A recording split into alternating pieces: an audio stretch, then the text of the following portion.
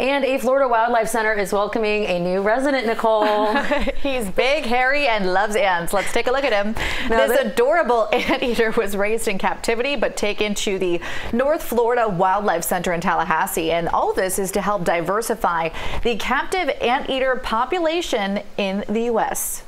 Unfortunately, they are one of the most endangered mammals in Central and South America. They are extinct in multiple Central American countries, which is incredibly sad.